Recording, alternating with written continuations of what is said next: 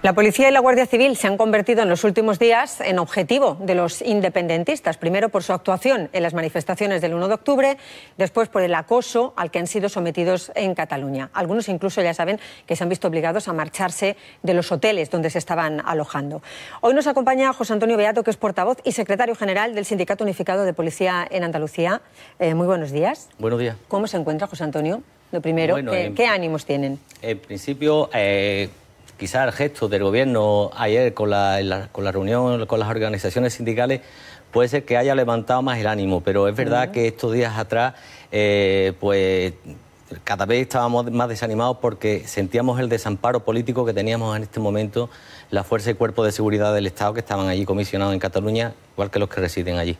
Han sido días muy complicados para, ustedes. Hay muchos andaluces ahora mismo que están allí en Cataluña que han sido destinados por la crisis de, que se está viviendo en, esta comunidad autónoma. En efecto, sí. Eh, y nos, nosotros entendemos eh, que no se gestionó bien quizás la eh, el, enviar allí o, comisionar allí a las fuerzas y cuerpos de seguridad de Estado porque en tanto en cuanto no había previsto un alojamiento adecuado, eh, no había una infraestructura para recibirlo, eh, con independencia de lo que ha sucedido posteriormente, que es aún más grave y peor. Pero desde, primera hora no había una proyección o, o haber programado mejor la estancia de los policías allí. Eh, desde luego, nuestros compañeros es evidente que son eh, grandes profesionales, lo han demostrado en todo momento. Eh, aguantan todo lo que tengan que aguantar, porque nosotros tenemos en España, por suerte, un modelo de policía de servicio. Está orientado al servicio público, a la ciudadanía, y eso los compañeros están muy concienciados, tanto de la policía como de la Guardia Civil. Esas son las materias que principalmente se imparten en la escuela de policía y en la academia de, oficiales y, de guardias de, la Guardia Civil. Mm. Por tanto, no hay ese problema real de eh, que lo eh, pueden estar ellos eh, en estos momentos totalmente frustrados, que ellos siguen actuando con total imparcialidad, con total objetividad y siguen cumpliendo las órdenes que le ordenan los jueces, no están a las órdenes de ningún político, mm. están a las órdenes de los, de, los, fiscales y de los jueces del Tribunal Superior de mm. Justicia de Cataluña, que es lo que tiene que distinguir las personas. ¿Los Mossos de Escuadra sí han estado a la orden de los políticos? ¿Qué cree? En nuestra opinión, sí, si es que los hechos se han demostrado. Eh, hay algunos que ya están siendo... Eh, eh, están en tribunal, en algunos juzgados de lo, de lo penal por presunto delito, incluso de omisión de perseguir delito, en otros casos eh, de negación de, o desobediencia a la autoridad judicial y esos son hechos demostrados porque si se están incoando procedimientos penales es porque hay indicios racionales bastante para que se, se tenga esa opinión concreta. No todos, por supuesto, eh, de hecho, es cierto y estamos nosotros en contacto y seguimos contacto con los mozos, con los sindicatos de los mozos y ellos están divididos, es cierto que están divididos, no son todos iguales ni... Como no son todos iguales los catalanes, ¿no? Correcto, efectivamente, sí, es que además eh, precisamente en estos días y, no solo ya por, el gesto ayer del Gobierno de la Nación, también eh, del comunicado de Su Majestad el Rey, que también fue importante, pero no solo ya por eso, sino que eh, yo creo que está volviendo la cordura y la sensatez al pueblo catalán, porque eh, los catalanes son eh, un pueblo grande, igual que Andalucía, igual que el País Vasco, igual que Galicia, igual que Madrid, si es que somos todos al final españoles y ellos lo saben. Y, realmente la mayoría, o sea, la mayoría silenciosa ya se está empezando a manifestar, a pronunciarse y eso está obteniendo una repercusión ya también en el ámbito catalán, porque ya se está tratando de eh, desviar la atención hacia mediaciones internacionales, cosas que, bueno, son disparates en mm, realidad. Mm. Eh, ¿Qué has sentido cuando ha visto en las últimas horas a miles de personas que también han salido en la calle? En Cataluña y en otros puntos, en Zaragoza, en Salamanca, para apoyar su trabajo, el de las fuerzas de seguridad del Estado? Sí. Eh, ¿Era necesario? ¿Lo necesitaban ustedes? Eh, bueno, eh, sí, claro, a nadie le disgusta un dulce y es verdad que es, esa manifestación de ánimo hacia las fuerzas y cuerpos de seguridad del Estado es muy importante recibirla, sobre todo para los que están allí desplazados, que lo están pasando mal de otras cosas por las infraestructuras, como he dicho, y también del trato que están recibiendo de acoso, de, de, eh, trato denigrante hacia ellos, eh, agresiones verbales, incluso agresiones físicas en algunos casos, y sobre todo los familiares. Era muy importante que nosotros hiciéramos esas concentraciones en, las comisarías, en los cuarteles de la Guardia Civil, y además es muy importante porque sí que se ve, ayer concretamente la hizo la Guardia Civil, y se ve todos los coches que no salían en la imagen, pero todos los coches que pasaban, todos los coches que tocando el Classroom se paraban, saludaban y eso eh, pasa en todas las ciudades de mm. España, en todas. Afortunadamente ya ha habido una reacción eh, del ministro de Interior que fue a, bueno, a ver y a saludar, ¿no? a dar un poquito de ánimo a todas las fuerzas de seguridad que están allí desplazadas. También fue el líder del Partido Popular catalán. Pero ¿han echado ustedes en falta en las primeras horas ese apoyo? Porque llegaron ustedes a hacer un comunicado en el que pedían la dimisión de, del ministro Zoido porque se sentían desprotegidos y desamparados. Es cierto, no lo podemos negar. Eh, y lo hemos dicho desde el primer día también. Es más, tampoco se trata de... Se agradece el gesto, pero hay que pasar a los hechos. Tampoco se trata que porque haya ido allí un día, eh, pues ya eh, todo se haya solucionado y los policías y los guardias civiles pues piensen que, ya no hay ningún problema, ¿no? El problema sigue existiendo. Eh, porque hay que pasar de la palabra a los hechos.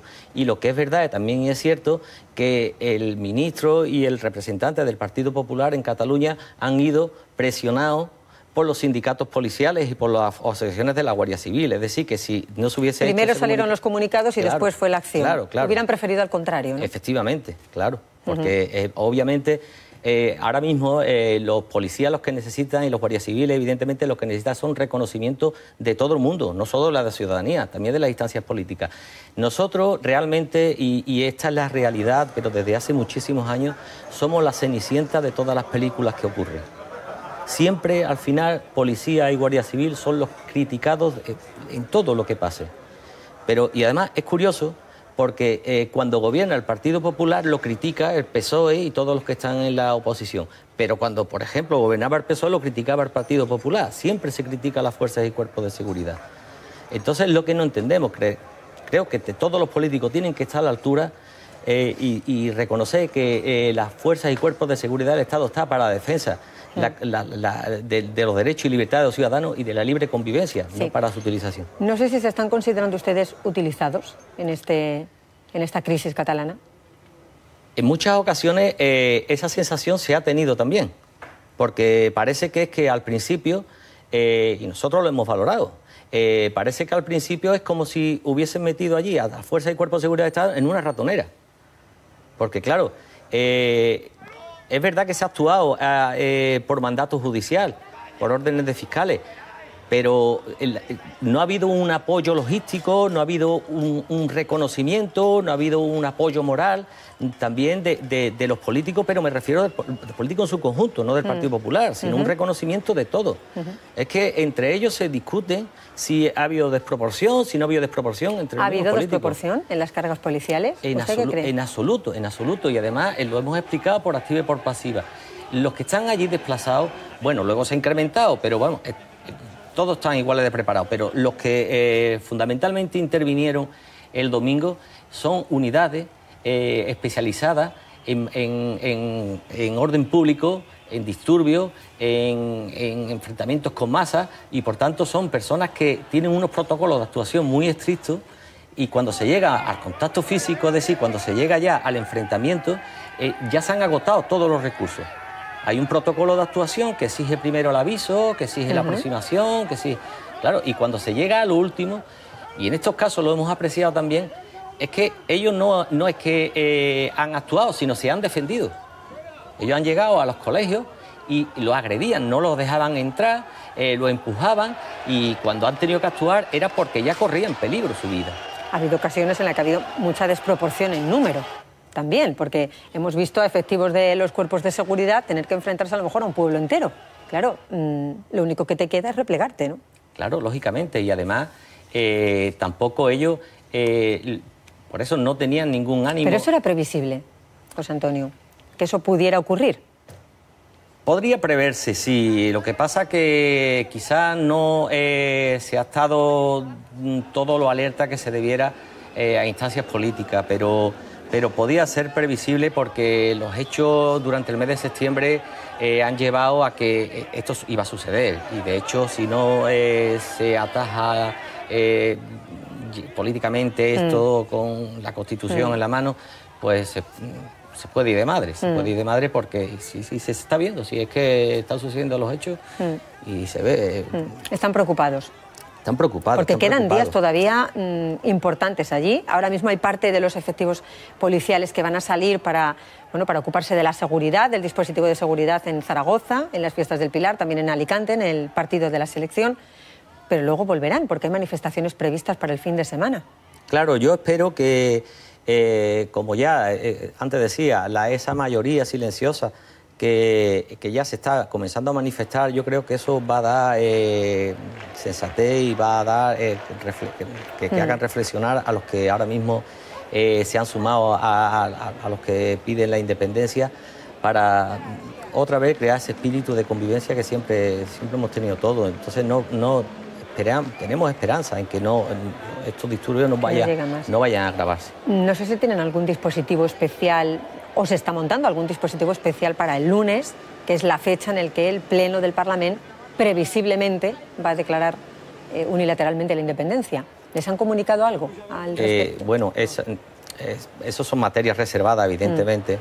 Eh, sí, claro que está preparado, pero obviamente no, se puede divulgar ni, ni tampoco se, traslada a las mm. organizaciones sindicales, son materias operativas en la que, bueno, cuando llegue el momento, proporcionalmente se adoptará la, postura que haya que adoptarse. Mm. Pero de momento ustedes tienen eh, orden de volver a, Cataluña, los compañeros, aunque salgan a otros, eh, bueno, con otros objetivos este fin de semana, pero tienen que volver de nuevo allí y se quedarán allí de momento. Es la orden que, sí, en principio, todos ustedes. En principio eh, se va a prolongar la estancia en, Barcelona. Mm. de hecho, se ya se está eh, preveyendo más logística eh, para eh, alargar el, periodo de duración que en principio se tenía previsto que iban a estar allí en, comisionados en, Cataluña, a, la espera de los acontecimientos que sucedan. Mm. sabe que mañana el mayor de los Mossos de, Escuadra, José Luis Trapero, tiene que ir a la Audiencia Nacional. Está siendo investigado por un delito de sedición. Es cierto y lo lamentamos enormemente porque además a este señor eh, se le ha reconocido con eh, eh, medallas policiales su labor, se le ha mm, reconocido. Se las podrían retirar, ¿no? Dice Zoido que podrán retirarle las medallas a aquellos que no muestren su lealtad. Es lo que hemos pedido nosotros, es lo que hemos pedido que, si no es merecedor de, mm. ostentar esa recompensa, que evidentemente se la retiren, claro. ¿Pero a su juicio ha habido un delito de sedición? En este caso fue en los altercados del 20 de septiembre, cuando eh, recordará eh, cuerpos de la policía y de la Guardia Civil, mm, bueno, estuvieron horas, prácticamente toda una noche, encerrados en la Consellería de Interior porque no les dejaban salir. Había una masa afuera que no les dejaba salir. Muchos dicen que los mozos tardaron mucho en llegar. Incluso dio tiempo a destrozar varios coches de la Guardia Civil. Desde el punto de vista jurídico, legal, estrictamente, es eh, obvio que se tienen que, pronunciar los tribunales para mm, imputarle o para eh, determinar si eh, se ha cometido o no un delito. Mm. indicios, como digo, existen. Indicios existen porque si no, no estaría investigado. Mm. Cuando se le incoa un procedimiento penal a una persona es porque hay indicios racionales de que ha cometido una infracción penal. En este caso, existen los indicios y, eh, si es que me remito a los hechos, tampoco hace falta mm. explicarlo. Mm. Eh, es ese y no es ese solo, sino es la actuación de los Mossos eh, el día 1 de octubre no obedeció a iniciativa particular de cada uno, obedecían órdenes. Entonces, mm. claro, y esas órdenes han sido trasladadas. Lo que hay que investigar de quién procede, quién siguió esas órdenes eh, quién miró hacia otro lado y, no, no eh, siguieron las instrucciones judiciales y se llega a las últimas consecuencias. Claro, si había una orden para ellos de no acatar lo que decía la Fiscalía, que es lo que han denunciado algunos, algunos efectivos ¿no? de los Mossos de Escuadra. Claro, efectivamente. Eh, ¿Ha hablado en las últimas horas con sus compañeros allí en Cataluña? Sí, sí, eh, se encuentran más animados. evidentemente, eh, el hecho, el detalle de, haber ido el ministro allí y, participar con ellos, compartir un día con ellos, pues bueno, se, agradece. Pero sí es verdad también que, por ejemplo, se ha hablado de la equiparación salarial, porque es una reivindicación que llegamos también haciendo muchísimos años y ahora se ha puesto más en evidencia lo que decimos, que no puede haber una policía supervalorada o sobrevalorada y otra muy minusvalorada, cuando realmente, cuando hay que sacar las castañas del fuego, siempre son los mismos los que lo sacan y siempre son los mal, los que cobran menos, eh, los que se le da menos reconocimiento y por esa solución hay que darla. Entonces eh, el ministro eh, ha tenido allí unas palabras de ánimo diciendo que se va a estudiar, que, que habrá sorpresa, pero claro, los policías y los guardias civiles no quieren que lo traten como a personas pequeñas, son mm. personas adultas, responsables y quieren seriedad en los mensajes. Mm. Entonces, lugar tendremos ahora, cuando se termine todo esto, a reivindicarlo con fuerza y, exigiéndolo contundentemente para mm. que pues José Antonio Beato, le agradecemos mucho que haya venido aquí a contarnos el estado de ánimo en el que se encuentra ahora mismo eh, la policía, también los guardias civiles, porque van un poco de la mano en sus, en sus reivindicaciones y en todo lo que han vivido en Cataluña. Eh, ojalá que no se tenga que actuar mucho más allá que vuelva el sentido común, como decía, y la cordura. Y en cualquier caso, sí que le transmitimos, en nombre de todos, pues el agradecimiento, porque las fuerzas de seguridad del Estado están para proteger a los ciudadanos y eso nunca se nos puede olvidar. Gracias, José Antonio. Gracias, yo se lo agradezco enormemente.